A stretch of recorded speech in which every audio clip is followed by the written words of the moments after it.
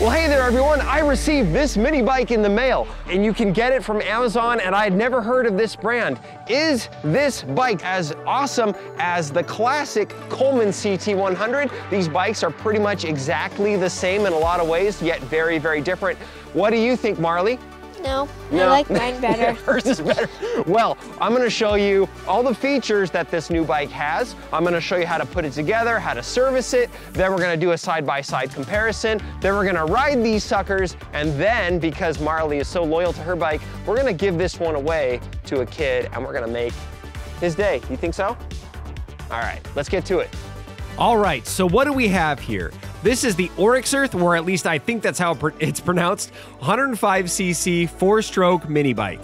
Prices seem to be all over the place. As of December 2022, it's sitting at around $440 plus shipping. The sellers offered me this bike for free to make a video about, but I don't have a horse in this race. I'm not keeping it, but I thought it'd be fun for you dads out there. If you end up wanting one though, I'll have a link in the description. This video does have a sponsor though, which is Havoline and Techron. More on them in a little bit. So let's get this box open and see what we got.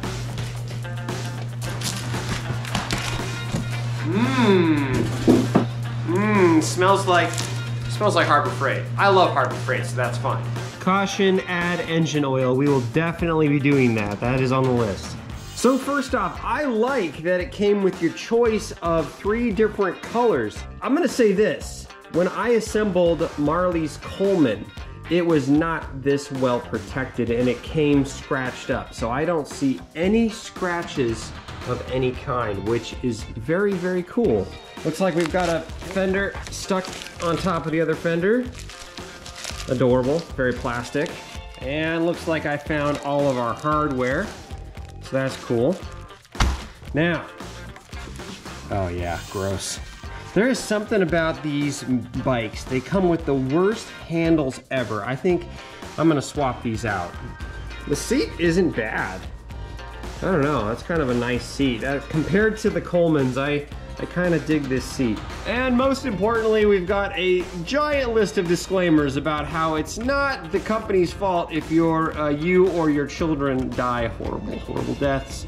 Can't forget your delicious, uh, super edible silica gel, so be sure to eat that while you assemble your bike. And we've got this that's good. I like that. I like the cage on the muffler. That is good for kids. That's quite smart. So I like that. You know, my hopes are kind of going up a little bit. I don't know. I think this thing could be kind of cool. Let's put this tiny beast together. I started by installing the front fork and then the front wheel. I felt the front axle bolt needed a washer, but didn't come with one, so I grabbed one from my collection.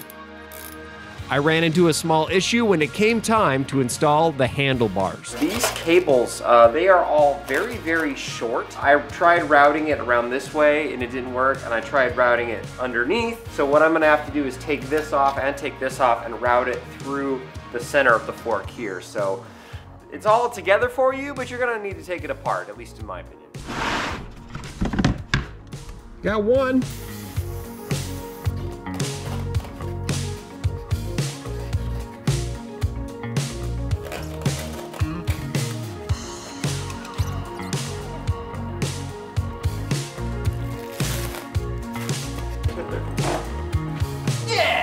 All right, the bike's all together, but before we start uh, pulling on the starter rope and all that good stuff, we better add some engine oil. So the uh, owner's manual calls for 12 fluid ounces. Also, the manual calls for 10W30 uh, oil.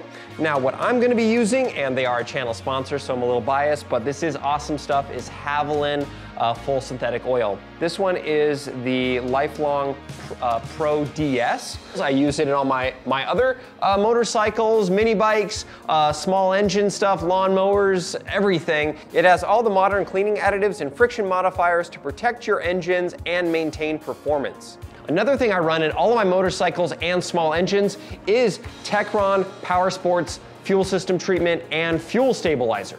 It helps prevent carbon deposits and varnish buildup inside the gas tank or carburetor. this can stabilize uh, gas up to two years. Um, so that's really important, especially for these kind of, these engines like mini bikes that might sit for a little while unused. I pre-mix everything for motorcycles and small engines with this stuff mixed with premium fuel so that everything in all these engines is stabilized and keeps all of these old carburetors clean and new carburetors too.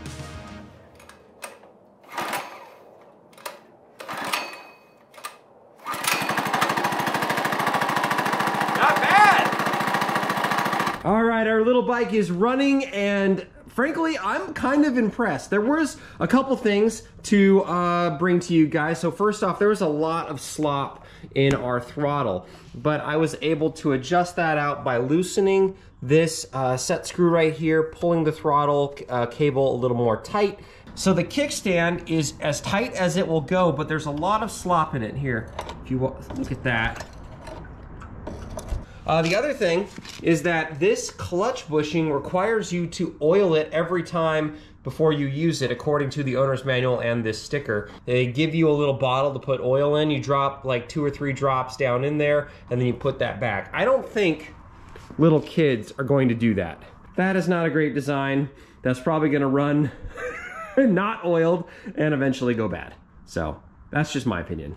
Another important thing I want to show parents uh, to novice riders especially is let me show you where you can set um, a throttle limiter screw. So I'll twist the throttle and show you how this works. So as you can see, when I twist the throttle, it's hitting that screw. So the farther you turn it um, clockwise in, that will limit how much throttle you can do. You could set it in farther or you could remove that screw entirely.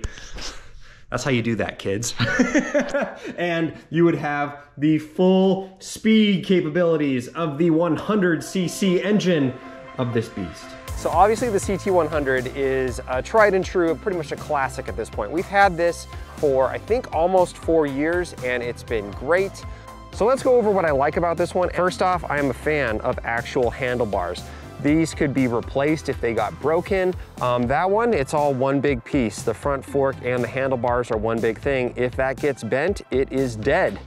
I think the seat design is a bit of a plus and a minus. It's longer, which is good, uh, which is better for taller riders, riders with longer legs. But overall, for an older kid, I think that this is better. But for a younger kid, that works just as well, if not better, because the frame isn't as tall. Now, something you saw while I was putting this bike together that I do not like is the plastic chain guard. This makes it very difficult for a, a dad or a mom or an older kid to lube the chain. Brakes on both bikes I think are identical.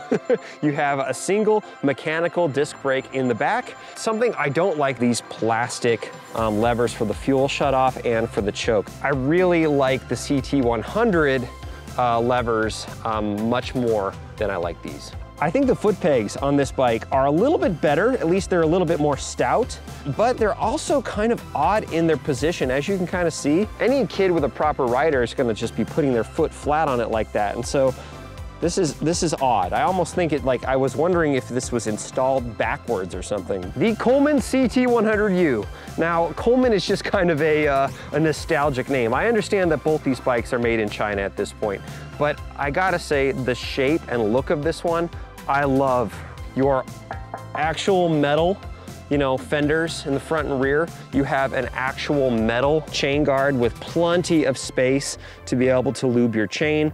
Okay, Marley is out here with me. Marley, what is your, uh, your mini bike's name? Strawberry. Now, tell me why you love strawberry. I remember one day I came home and then you had this in a box and then you called me into your shop after I got off the bus, and then you said, I have a surprise for you. And I didn't know what it was, so I came into your shop, and then we, and then I saw the box. I'm like, what's that for? And you said, there's a mini bike in there, and we builded it. And you've been riding strawberry in the backyard ever since.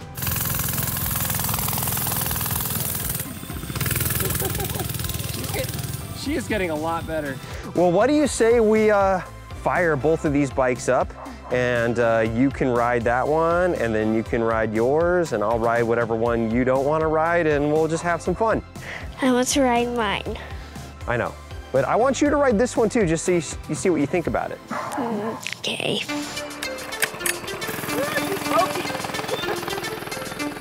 Yeah, go!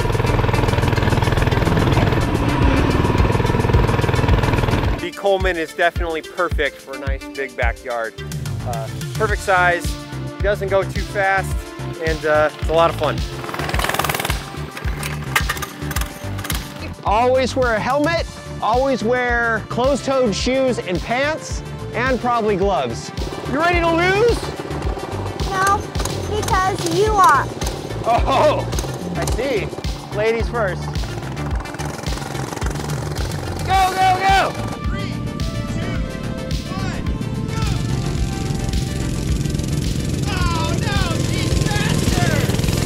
My daughter is faster than me. I hate that. I I know. Just fist bump. There you go.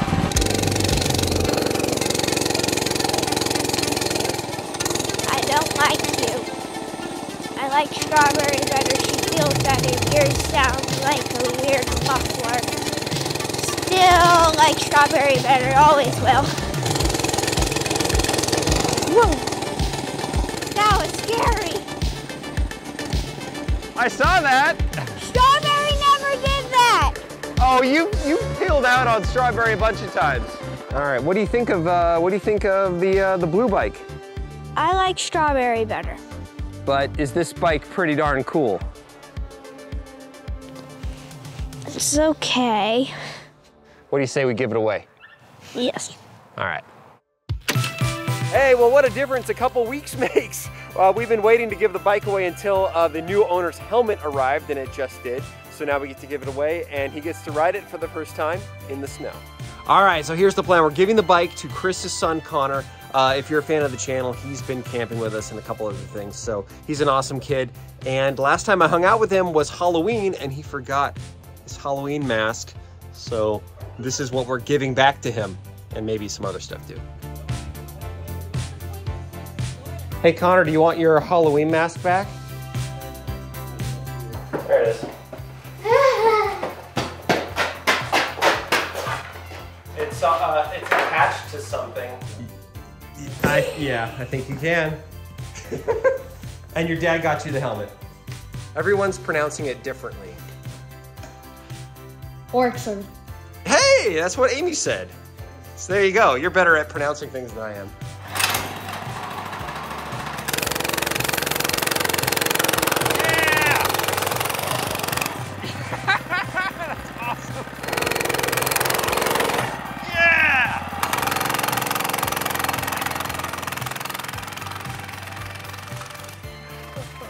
It's just That's grass. great. It- It's just grass. It's just grass. This guy I know who could probably fix it. There you go, man.